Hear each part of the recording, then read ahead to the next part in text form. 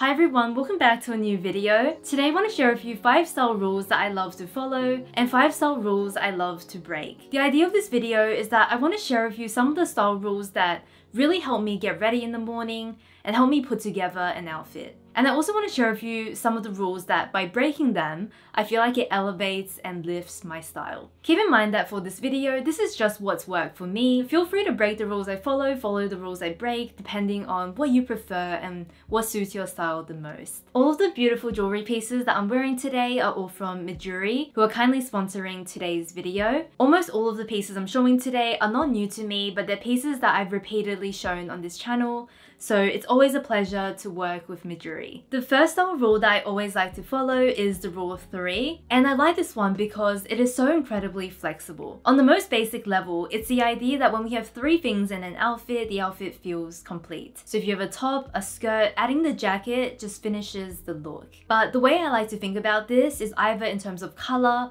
or how many key elements there are in an outfit. With color, having three key colors in the outfit I feel like is a really good number to have the outfit be interesting but not overdone. I like to include my shoes in the three color rule but not my bag. And the reason is my bag usually complements my outfit and I also put it down during the day so I don't want to only have two pieces on me and to have left the third one at my desk for example. To show you an outfit example of this, I've done a blue t-shirt, a yellow jumpsuit and then khaki slides. By adding on the bag, I don't feel like it messes with the three color rule and this outfit just feels very finished. Another example is this outfit where I've got the yellow blazer, the blue tee, and then the khaki slides. I don't include the white as a color here, and this outfit feels complete. On the other hand, in this outfit, I've got the yellow top on instead of the blue. And I don't think it's a bad look, but I do feel like it's a little bit more incomplete and I do want to add something more to this look. The other way I like to use the rule of three is looking at how many key pieces there are in an outfit. So in this example, we've got the graphic tee, we've got the ribbing texture of the skirt that makes it a key piece, and then we've got an interesting uniquely shaped shoe, which would be my final piece. If I was to add a jacket to this look, it wouldn't really become the fourth piece if it was simple. So a black blazer or a navy blazer will complement the rest of the look and it wouldn't be a fourth piece that will compete with what I already have on. As I said before, I don't really like to include my bag in the rule of three. So for this outfit, the first key piece will be my black jacket with the gold buttons. I think the gold buttons is what makes it a key piece. We've got the same skirt and then we've got the graphic tee. The shoes here are really simple. So in this outfit, we still have three key pieces and I'm happy with the way it all comes together. The last way I like to use the rule of three is for accessorizing. If I'm doing a little necklace stack, three necklaces is a bit of a go-to for me. I feel like having four necklaces can look sometimes a little bit odd. So I usually go for three, if not five or seven. The same thing applies for rings. It's pretty common for me to do something like this. I would also just take the third ring and stack it on top of one of the other ones and go for three this way. On the other side of things, a rule that I really don't like to follow is that you should match your metals and wear silver with silver, gold with gold, whether that comes to jewelry or accessories and hardware in general. We all know that it's okay to mix metals, but I guess I'm mentioning this because I have heard this for so long, but I've only recently started to do it more myself. This is where I'm going to talk about the jewelry pieces that I'm wearing right now from Mejuri, and I'm also going to talk about your hardware details, for example, your belt buckle, your bag,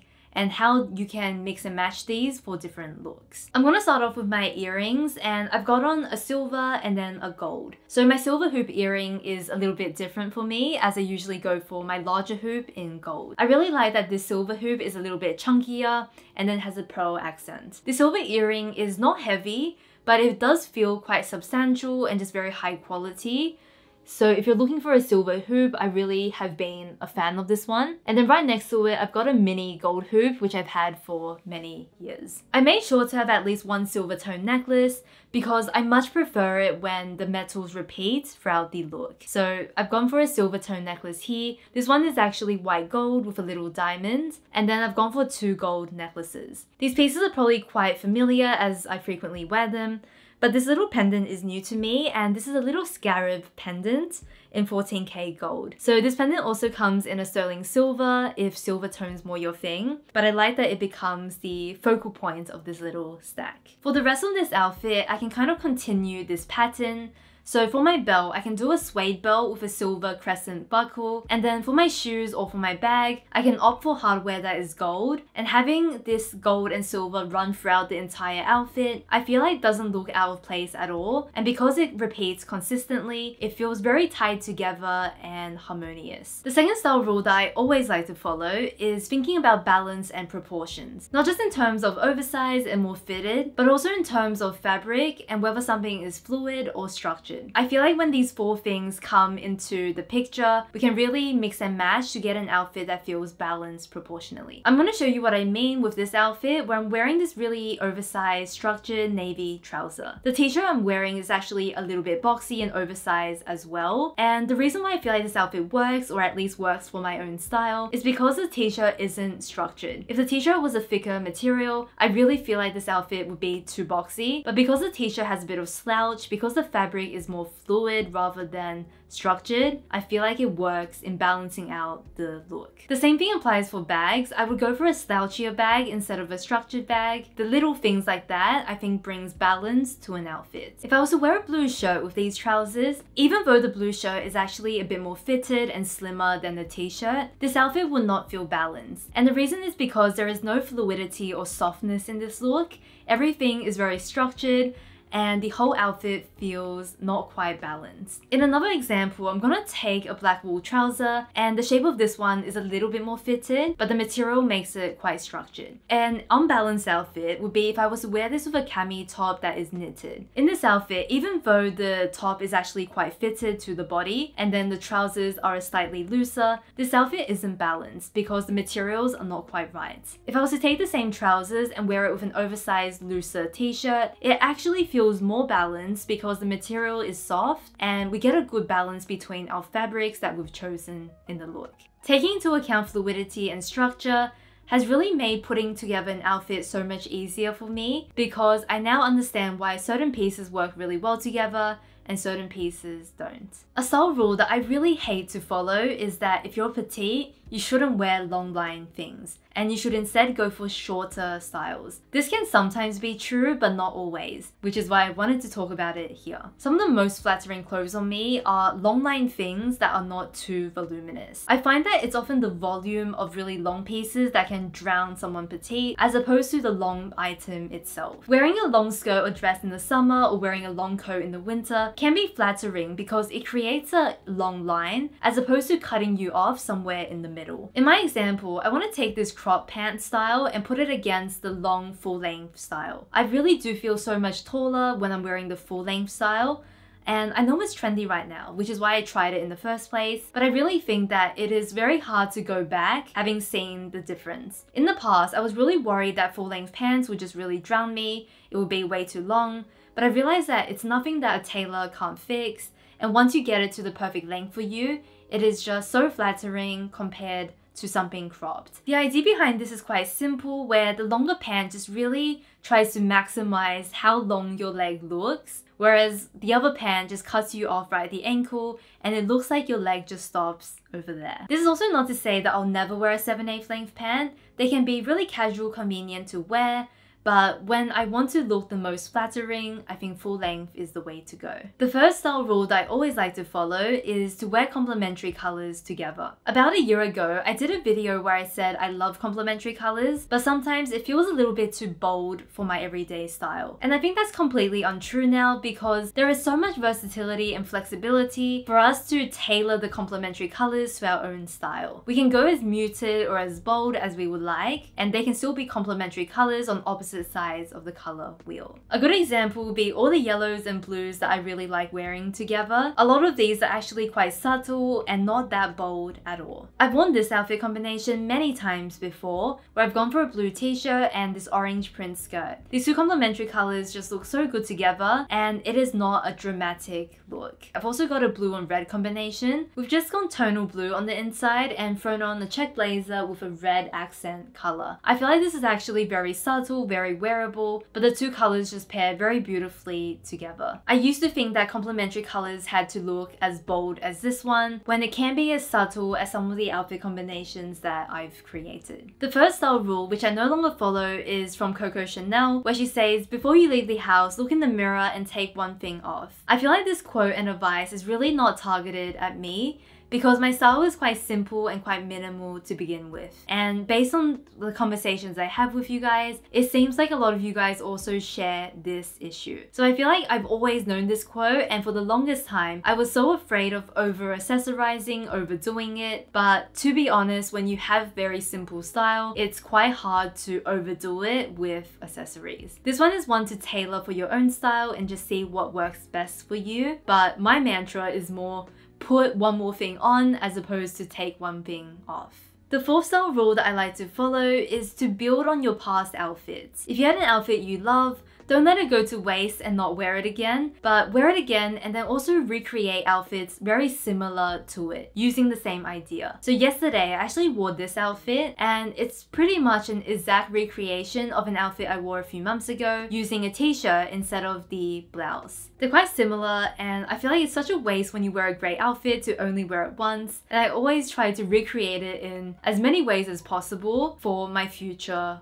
looks. Once I've exhausted this color combination, I can change up the colors but keep the proportion. I can keep the colors and change the pieces. I can basically just do whatever I can to maximize the number of times that I can wear this outfit because I know I loved it and it makes sense to try and rewear it, recreate it in our wardrobe. The truth is that I don't love every single outfit I wear, so when I do love an outfit, I really do try to make the most of it and restyle it and see how far I can go with that look. The fourth style rule that I don't like to follow is to invest in basics and your wardrobe will come together. I think it's a lot more complicated than that because for years I was buying all the basics but I still had nothing to wear and I felt quite uncertain about my personal style. When buying basics, I think you really have to consider your personal style, your habits, how you like to put together an outfit, and all of these things will make sure that your basics actually suit you. I know you guys probably know this one already, but I just want to share it in some more detail things that I would look out for. I used to never wear basics like a t-shirt or a button-down shirt, and the reason is because I would start an outfit with my top and then I only owned simple bottoms. So I would pair all my fancier tops with a simple bottom. You can kind of imagine here that if I was to wear a t-shirt or